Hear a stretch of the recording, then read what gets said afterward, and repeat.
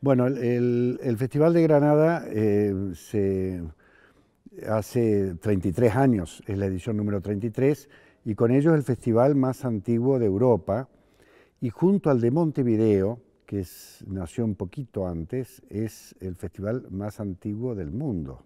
En tu nombre, fervor de cuchillero, Juárez o Albornoz, Chiclana o Muraña, sin embargo eres por tierra de España, bozarrón gitano, curtido coplero.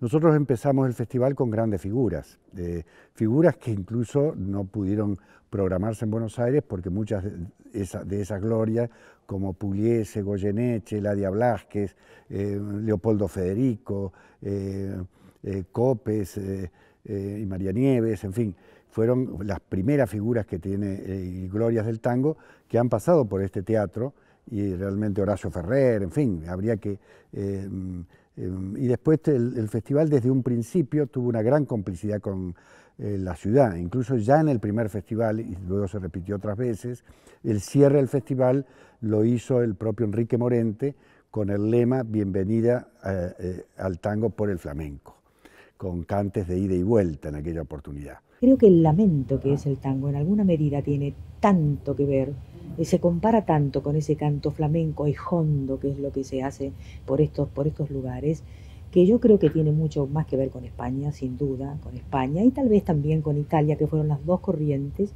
que más nos nutrieron en, la Argentina.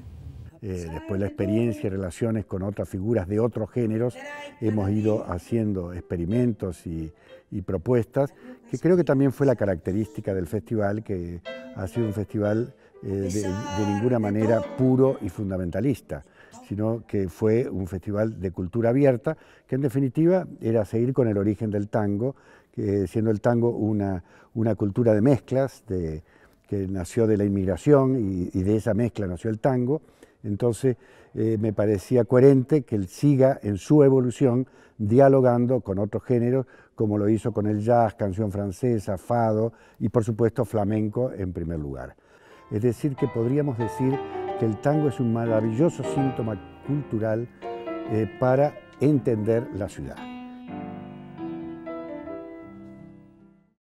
Estoy enamorado de lo que hago porque es lo único que sé hacer. Y además de que cantar es mi vida, encima me pagan. Fíjate qué lindo que es eso.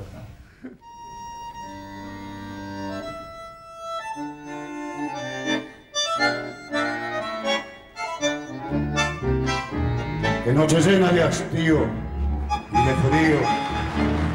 El viento estará en el lamento. La, yo hace que vivo en Granada más de 40 años y casi desde que llegué me dio la impresión de que Granada es una ciudad que, eh, definida por la cultura. ¿no? Es decir, a mí me llamó la atención la vitalidad cultural en todos los planos de la cultura que tiene, que tiene esta ciudad. Por tanto, eh, creo que es una ciudad que puede eh, eh, competir con cualquier ciudad del mundo en ese, en ese terreno. El género del tango y su futuro es, por cierto, el futuro del festival de, Granada y de otros festivales que han... Yo parto de que una ciudad que no tenga una programación de tango, un festival de tango en su ciudad, eh, le está faltando algo en la programación cultural. Somos cultura.